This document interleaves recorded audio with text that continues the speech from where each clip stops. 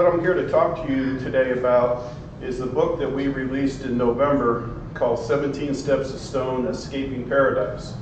And I have books here, and we are donating 100% of what people spend, $10 a piece, uh, to, at our club, we did Backpack Buddies. I don't know if you do Backpack Buddies. So if that's all right, it'll go to Backpack Buddies, and when you get one afterwards, uh, I'll be happy to pers- personalize it. They're already signed. And uh, we raised uh, $220 when we gave the talk at, um, at uh, the Rotary Club of Front Royal. Um, anyway, this is a story. It's a true story. And it's a, it's a story of a suburban couple who casts it all aside, moves to the Caribbean, buys a hotel, runs a hotel, and thank God sold a hotel. and I think you'll, you know, you'll find there's some humor in here. Most of the jokes or the laughs are at my expense. But anyway, uh, this is an example of one of the book talks we gave. We spend the month of February on Key West, and the library there uh, hosted us one time. They do a series of author talks, and uh, uh, you can't read all that, but this is the, the flyer they put out on that one. So this is a real life experience. Um, as, as I said, uh, we, uh, you're going to learn about the, the good, the bad, and the very lucky uh, as you read through this. So have you ever wanted to leave the busy life behind and move to the Caribbean? This is a couple of, a story of a couple you know that did exactly that. And it's totally nonfiction. It's an account of our entire experience, as I mentioned, the good, the bad, and the lucky. And it's not a how-to book or a how not to book. It's just our ride on the roller coaster. Now, interestingly, in the reviews that we've gotten, uh, I've had two people come back to me and say, Cal, this isn't a, this isn't a uh, Caribbean adventure story. This is an entrepreneurial story. And he said, you ought to be marketing this as a business book. And Sam Sneed, who read it from our club, said this is a must read for any real estate agent. So, and I know there's a couple here. Melody's holding out for when it's a, a free book, but she's had like six chances to buy it.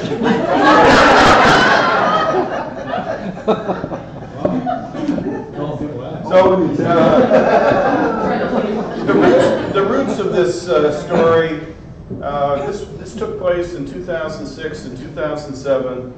And I, I, had lost my humor pretty, pretty severely for a little while during this period. But toward the end of the year, I had regained my humor. We had uh, a contract to sell the, sell the hotel. And so we put out a Christmas letter. And I know you can't read that, but I'm going to read a few pieces of it. Uh, Christmas letter 2006 from Cal and Joan temporarily serving six months to life on St. Croix. 32 years together, and this is our first Christmas letter. We've always tried to send a personal note along with cards we send, giving a small update on where we were and what's new and how the kids are doing. Great. Uh, this year provided events that, that require more than a few words. In fact, 2006 for us is the subject of an upcoming book we just have to write. At the time, the title for the cover was I Just Want to Be Dry. it, it is the true story of a suburban couple that rather impulsively follows the dream, casting it all aside, buying a small hotel in the Caribbean. What's wrong with that idea? Nothing until you get past chapter four. if you've ever read Herman Wouk's novel, Don't Stop the Carnival, you may wonder how we can tell this story and not be charged as plagiarists. All we can tell you is this is a work of nonfiction. I'm going to read you a few of the chapter titles. Uh, in, the, in the letter, we said the book's going to be in development in 2000, during early 2007 for the purpose of the Christmas letter. You're going to be satisfied with chapter heading, headings and a few occasional comments. Now, 2007 turned into 2017 by the time Joan was very diligent in her librarian way, and when we came home, she wrote nine chapters, and I dilly-dallied and eventually got there. Um, but we worked real hard on it last year. Uh, at the time, and the reason that the book was going to be called I Just Want to Be Dry is you will not believe how much you sweat down. And, and it would be, I would, you know, I'd be working in the, uh, doing the cleaning and so on. I would sweat through three or four t-shirts before noon. You get done, you take a shower, you dry off, and just as you sat down to the room, it rained. And you had to run out and grab the, uh, the, the cushions off the chairs and so on. Anyway, chapter one, seeds of discontent. We're fed up with the life in the big city. Joan threatens to go buy a B&B in the Caribbean and hasn't decided if she'll tell Cal where it is. Chapter 2, the internet is a dangerous place. Where Cal decides a preemptive strike is in order, he'll find it first. Chapter 3, it's just a vacation. We'll just take a look while we're there. The trouble brews for a couple that has moved quickly five times in this career. Chapter 4, hey, it's easy. We get all the business we want. Where low occupancy numbers are easily explained away by pleasant little hostesses. Chapter 5, the thrill of the deal. Where Cal loses sight of whether he's making a good deal or just proving he can do it. Chapter 6, ugly truths about insurance on a Caribbean island. Why people there self-insure. Chapter 7, we're all in, baby. The house sells and the move date is established. Chapter 8, you must be nuts. But friends and neighbors really mean when they tell you this has always been their dream. I won't read all these here, but um, chapter chapter 12. Just how am I going to spend my thousand dollars today at the hardware store? What you wake up wondering after three weeks in a historic property. You just need to make it, chapter 14, you just need to make it through one high season. Advice from sur, sur, uh, surviving entrepreneurs. When is that, asked Cal. Oh, sometimes as early as the end of January through like April 1st. anyway, um, chapter 17. Fun stories about colorful characters. They're all here because they're not all there. uh, chapter 18, the exit strategy. This could be a five-year pro uh, process. And then lastly, chapter 20, heading home with lessons learned by having the, the guts to try, not to mention a book to, to write. So uh, what we've done in the past is two brief readings. I wish Joan was here to read her chapter, but I, am going to go ahead and read it if you don't mind.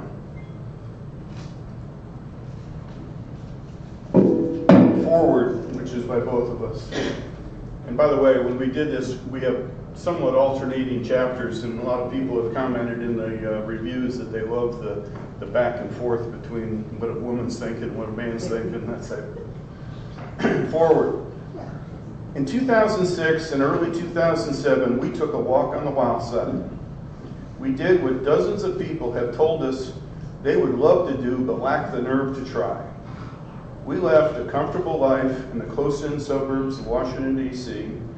We said goodbye to our home of 14 years, respectable jobs, membership at the country club, and our beloved dog Abby not to mention easy access to our two adult daughters who were pursuing their own dreams on both coasts of the U.S. we bought a hotel on the Caribbean island of St. Croix, one of the U.S. Virgin Islands. Its name was the Pink Fancy Hotel, and its beauty could take your breath away. this book tells the very true story of that entire experience when we returned to a more conventional life, we were determined to write a book to share our adventure. Joan, as diligent as the librarian she is, set about the process in 2007, quote, before she could forget everything. Cal completing the book on his bucket list, but as is his custom, he busied himself with resuming his hyperactive lifestyle. He knew he would, quote, never forget anything, and he hasn't. Several chapters are therefore based on Joan's memories and identified as such. Over the past 10 years, Cal has had time to record and tell his stories many times, entertaining his pals on the golf course and elsewhere. His chapters are interposed with Joan's and pick up the story from about the time reality set in. We hope you enjoy the journey, looking back we've had nothing but fond memories of the entire experience, despite some close calls with disaster along the way. We love the people we met on the island. Crucians have found a lifestyle that suits them just fine. What's not to love when you wake up every day far from the intensity and discord of modern day America? On St. Croix, the, the bright sun shines every day. The daily shower inevitably produces a rainbow, and there's, quote, always a breeze. I'm going to read Joan's prologue, which is a little longer than that, and I may skip a little bit of it, but you'll get the gist. Prologue The Rat. Seven, this is in Joan's words, seven in the morning and time to get moving. I stretch in my bed. Cal, my husband of over 30 years, is always up long before me. The huge tropical room, decorated with brightly colored wallpaper and white wicker furniture, is deliciously cool from the window air conditioner, which runs all night, along with a ceiling fan, which is never turned off. Here I am, as they say, beginning another day in paradise. Then I realized anew that I'm not on a tropical vacation. I live here. Everyone's dream, right? Chuck it all in and move to the islands, move to, to an island in the tropics. Only there's more. Not only am I not on vacation and live here, but we also work here, as in constantly 24 7. The luxurious room I woke in is part of a small, quaint 14 room inn that we own. And although it's August, low season, which is apparently most of the year, we do have a few guests. This is a bed and breakfast. I know Cal, I know that Cal will take care of setting up the meal, but I want to do my fair share. I throw on a pair of gym shorts and a t-shirt. I know there's no point in showering at this time of day. First of all, our bathroom doesn't seem to want to deliver hot water until midday after the solar panels have baked in the sun. Second, I know that the only cool place in our two-room dwelling, I know I'm in the only cool uh, place in our two-room dwelling, so I will be sweating profusely the remainder of the day. I reluctantly turn off the air conditioner for the day. It's far too expensive to run more than absolutely necessary. I open the bedroom door to our adjoining den, home office, and linen storage combined, all contained in about 200 square feet. The blast of hot air takes my breath away. It is stiflingly hot on a Caribbean island in the summer. This, of course, is one of the many facts that hadn't even occurred to me as we charged headlong into this venture. That along with the fact that Cal could sweat on the tundra. I passed next into the open air kitchen where we set up the uh, buffet breakfast for the guests. To call this kitchen small would be an understatement. Even to quote my mother and call it a, quote, one butt kitchen is generous. it has maybe three by five feet of floor space. It has the necessary stove, refrigerator, and sink, but has no disposal. And there are lovely imported tiles on the counter, one of which opens onto the pool and serves as the buffet. But there are only five cupboards and only one drawer in which to store everything needed to serve our guests, ourselves, plus everything needed to prepare the food. Since it's open to the pool area, it always needs to be neat and clean, so everything needs to be stored somewhere. The overflow finds its way into the all-purpose den. It had taken me days after the shipment of our household goods arrived to decide what the most important items to keep in the one and only drawer were. It ended up being the silverware, which, kept, which is what Cal had suggested from the start. My first duty and the highlight of my day is to say good morning to Peanut and Sally. I sit on the floor with them, stroking them as their tails thump in happy greetings. They are both Crucian mutts. Sally is large and definitely part golden retriever, judging from the way she insists on constant attention. Peanut is small, with long hair, and is equally fond of attention. The girls, as we call them, came with the hotel, and I couldn't be happier about that. Cal was up on a stool, cleaning the ceiling fan over the tiny kitchen that serves both our personal needs and the food and drink headquarters for what little we serve our guests in the way of breakfast and cocktails. It's probably the first time it's been turned off, let alone cleaned, in months, if not years. Ken, one of our few guests, is already sitting at the table by the pool with his laptop. Apparently, the wireless connection is actually working for a change.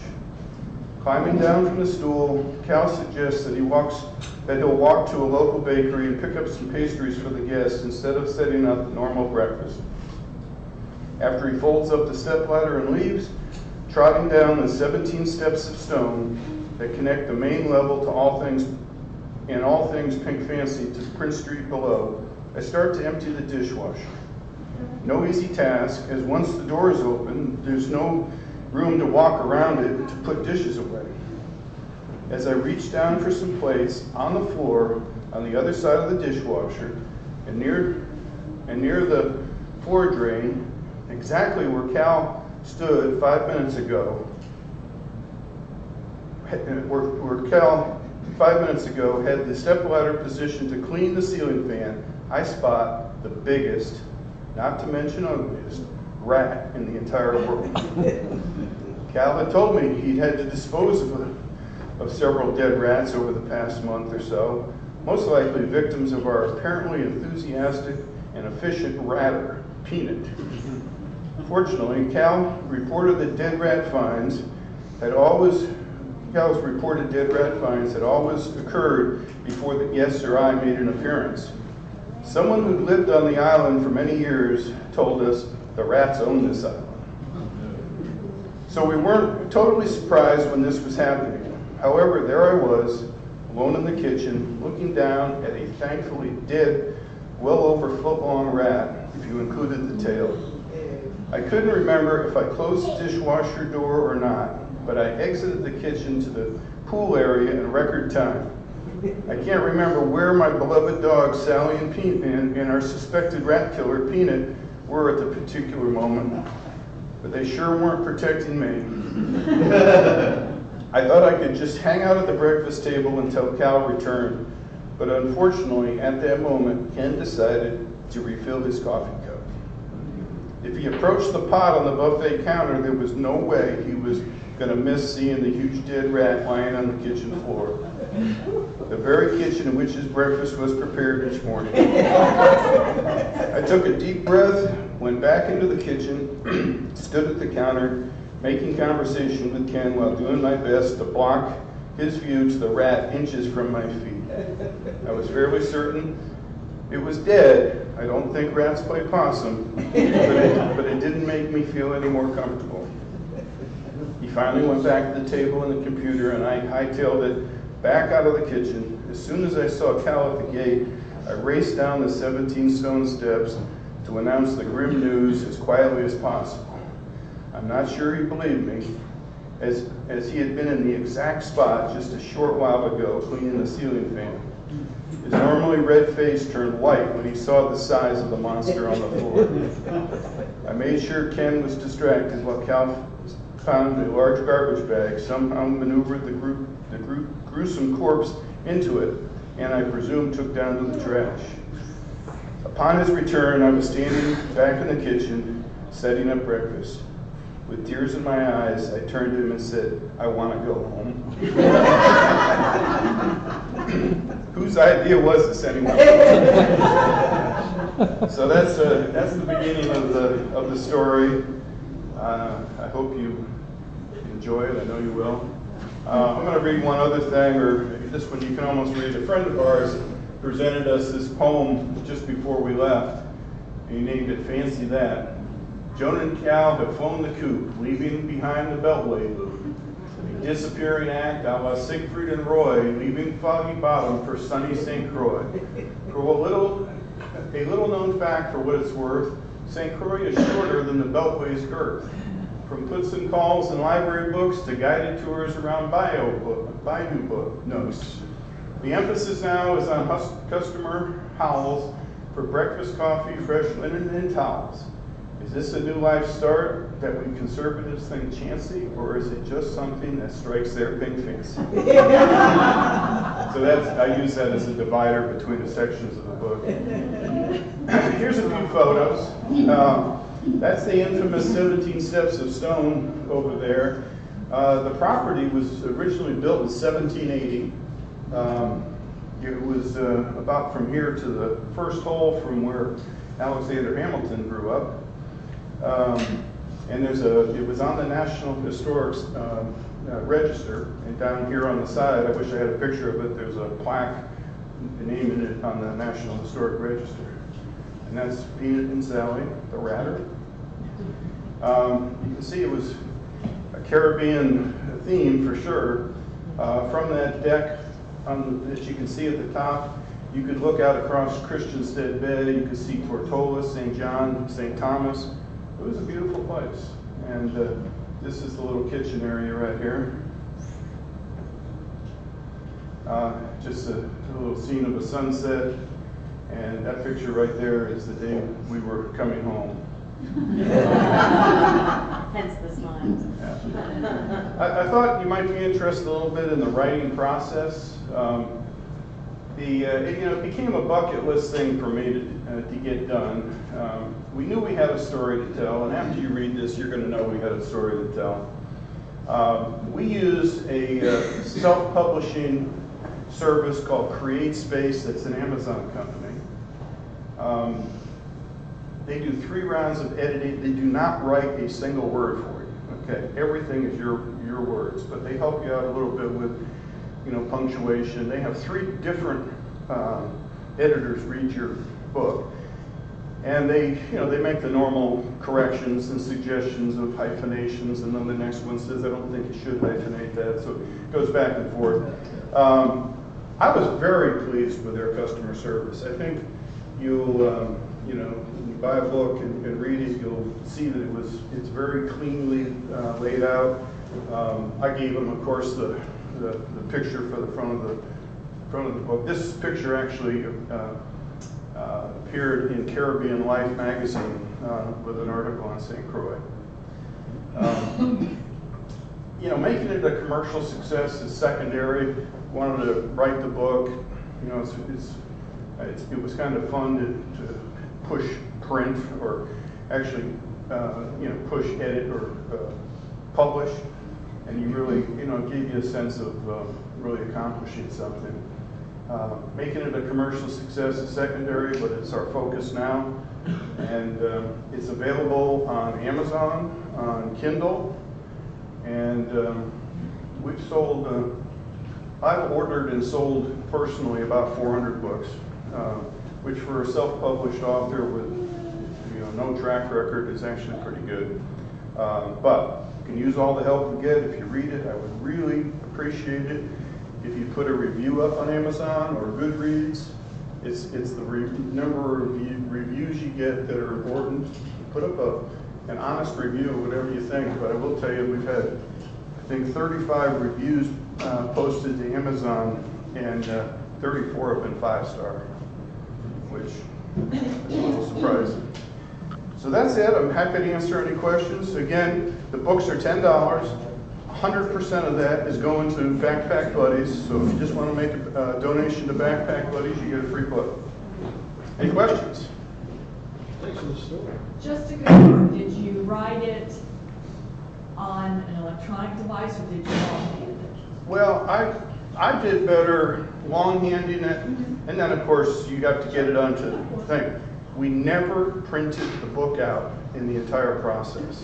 I've got a friend in the neighborhood who wrote a book and, and she went through cartridge after cartridge after cartridge. We never once printed the book out, which I thought was, you know, kind of cool.